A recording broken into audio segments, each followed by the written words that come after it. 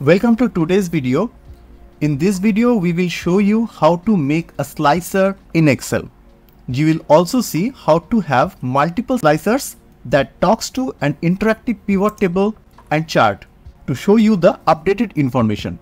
So let's start. Here is a table that contains the order details of stationery items from different regions of a company and through various sales representatives.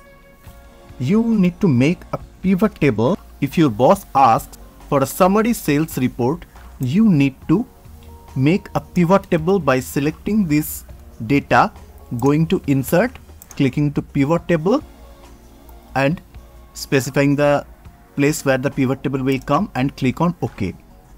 From here, you can select the items in the rows section and the total sales in the values section and you will get a summary of the items ordered from the data that you have. But you send this report to your manager and he asks what is the total order from a particular region.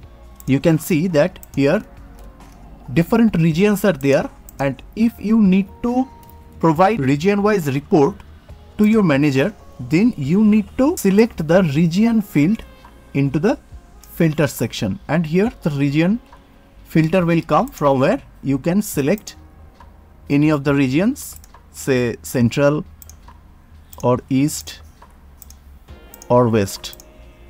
Also you can select multiple items from here and show the data pertaining to more than one region. But you can see that this is not a very user friendly interface and any person who is not aware of the pivot table feature to whom you are sending the report will not be able to very easily navigate through this report. Here is where the Excel slicers come in. To include the slicer, you need to go to insert while selecting the pivot table and click on the slicer option from here and select the data field on which you want to add a slicer. Here our requirement is the region.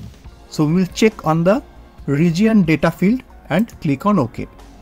Now you can see that here a slicer has appeared. You can do some formatting with this. You can select this, go to the slicer tab which has appeared just now in the ribbon at the top and you can select any vibrant color from here like this as you like. Now if you select central from this the report will be changed and the pivot table will now show the order details pertaining to the central region. You can select the east or west or any other criteria to show the report as you want. You can even show multiple regions data into your pivot table from a slicer. To show the multiple regions data, you need to hold the control key from your keyboard and select as many as options that you want.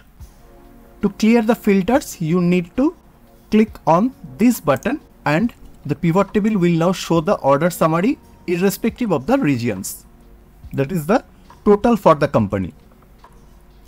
You can select multiple items from here also if you check on this. Now you can select any number of criteria from the slicer. Now to make it more user friendly, what we can do is to insert a pivot chart. We will select the pivot table and go to insert tab and click on a pivot chart. Here Excel is showing you the best possible pivot chart from your table. Click on OK and you will see a pivot chart here. We'll make some modifications to the appearance. Now you can select any of the criteria from the slicer and the pivot chart will be changed according to your selection. You can have multiple slicers for a pivot table or pivot chart. Select the pivot table or the pivot chart, go to insert and click on slicer and have one more criteria. Maybe you want to get the order data representative wise. So click on the representative field and click on OK.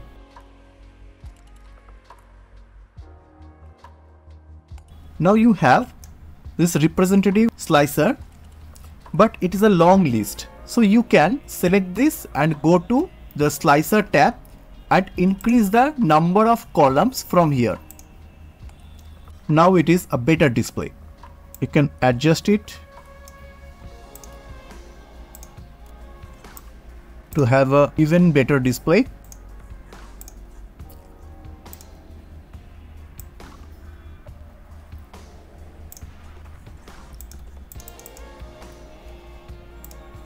Now you have two sets of criteria, one is region and another is the representative.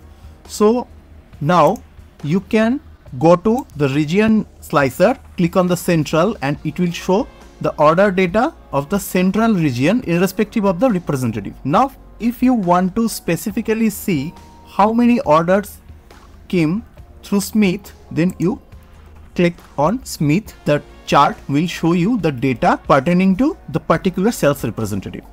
You can have multiple selection from here if you want to see the data of multiple sales representatives together. So with the slicer and pivot chart, you can convert your data to an extremely user-friendly report within a very short time and present it to the people you want. If you have learned anything new in this video, please subscribe to our channel and share this video with the people it will be helpful to. Thanks for watching.